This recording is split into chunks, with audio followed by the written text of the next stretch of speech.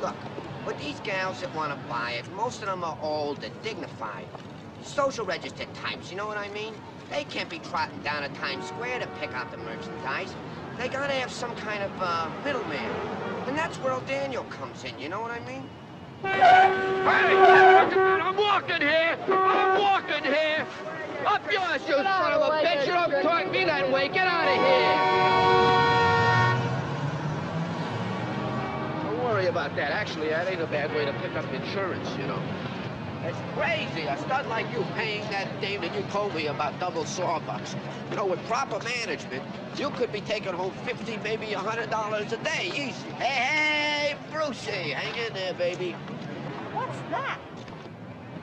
In my place with O'Daniel about two weeks ago.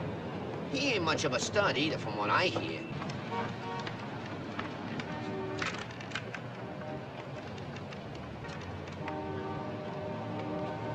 All right, all right. Hey, Horsey, how about you take me to meet this Mr. Diddlebird right now? What do you say? What do you say about that? Well, Joe, you're a nice guy, and actually I'd be doing Bodie as a favor, but, you know, for what? What am I dragging my bum leg around town for, you know?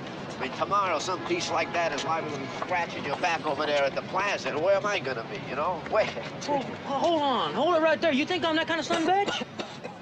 Well, you just you just name your cut, whatever you want. You you got it right now, I swear. It's all right.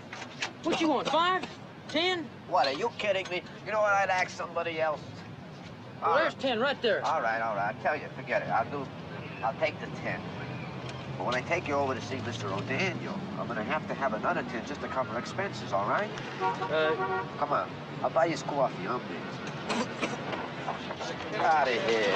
Come on, let's get freak. Go to work.